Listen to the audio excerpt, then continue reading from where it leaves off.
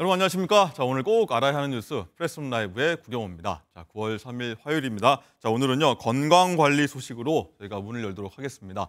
자 여름에서 가을로 넘어가는 환절기 건강 예방 그리고 심상치 않은 코로나19 재확산 현황까지 자 김호주 고려대 구로병원 감염내과 교수와 얘기 나눠보도록 하겠습니다. 어서 오십시오. 예, 안녕하세요.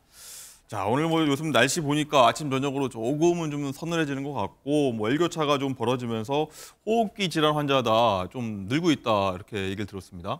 예, 지금 저 무더위가 지나고 약간 선선해지는 가운데 일교차가 커지고 이제 건조해지면 음. 호흡기 감염이 늘게 돼 있습니다. 물론 이제 지난 어, 8월에 이제 코로나19가 크게 유행을 하고 지금 감소 추세에 있지만 네. 여전히 이제 아데노바이러스, 라이노바이러스도 음. 또 세균 중에는 마이코플라즈마, 이제 백일에 이런 호흡기 감염이 유행하고 있기 때문에 여전히 호흡기 감염 예방 수칙을 잘 지키실 필요가 있습니다. 네 그렇군요. 뭐 이 말씀하셨는데 예방 수칙 그리고 뭐 질환도 뭔지 정확히 알아야 될 텐데 예방 수칙 어떤 것들이 좀 있을까요?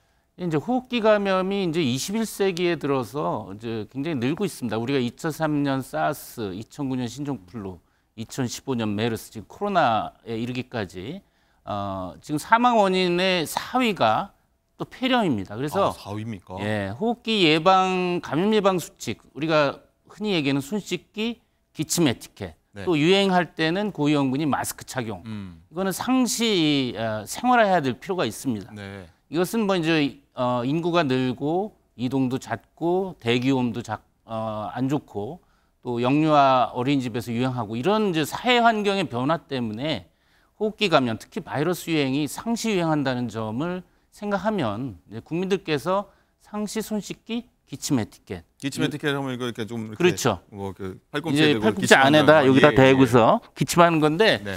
예, 코로나 이전에는 꽤 이게 생활화가 됐었는데 맞아요. 최근에 하시는 분을 볼 수가 없어요. 아, 네. 그렇군요. 네. 알겠습니다. 그리고요 이제 특히 이제 5, 60대 중장년층 뭐 호흡기 질환도 좀 많이 있을 텐데 좀 주의할 점이 있다고 하면 어떤 점 짚어주시겠습니까? 예, 이제 중장년층 5, 60대도 지금 여전히 코로나가 유행하고 있고 물론 이제 어린이에서는 백일에 마이코플라즈마 유행하고 음. 또 고령자는 코로나 또 레조넬라 유행하고 이렇게 이제 좀 주 연령층이 다른데 아, 건강한 성인도 이제 본인이 건강도 해야 되겠지만은 본인이 이제 걸려서 어린이나 노약자한테 또 퍼뜨릴 수가 있기 네. 때문에 사실 건강하다는 이유로 나는 괜찮아 하는 좀 어. 자만심, 방심 이것이 오히려 주변에 해를 끼칠 수가 있어서 이 5, 60대 건강한 분들도 어 그 호흡기 어, 예방 수칙 뭐 손씻기 기침 에티켓 네. 하고 이제 필요시에 이제 어, 예방 접종도 음. 필요하다고 봅니다. 네.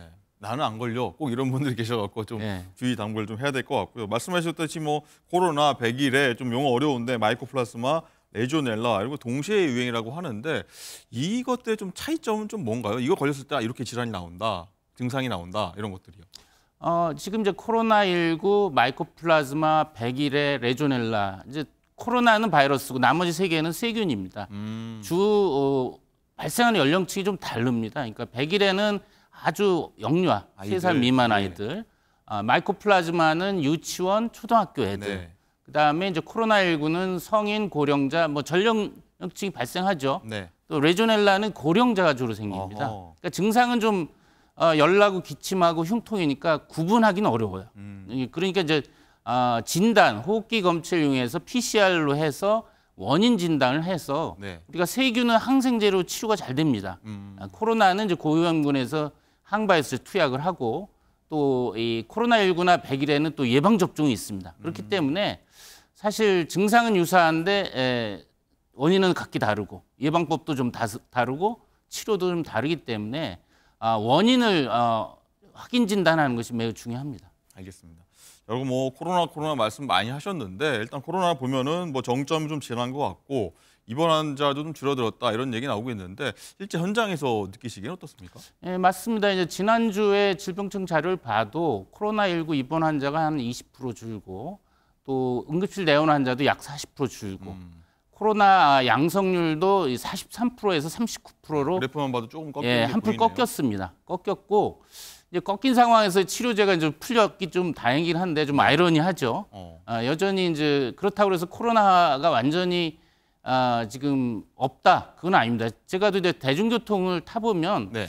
어, 지지난주만 해도 상당히 그래도 마스크를 쓰시는 분들이 보였는데 네. 지난주부터 안 보여요 거의. 더워서 그런가요? 예, 덥기도 하고 예, 정점을 찍고 이제 끝났다라는 아, 좀 어, 방심하는 분위기가 또 있어서 예. 사실은 지금 아, 많이 줄긴 했지만은 여전히 코로나 감염자가 아, 열나고 기침 인후통 환자의 39% 10명 중에 4명이 양성이 나오기 때문에 그렇군요. 여전히 경각심을 어, 놔서는 안 된다.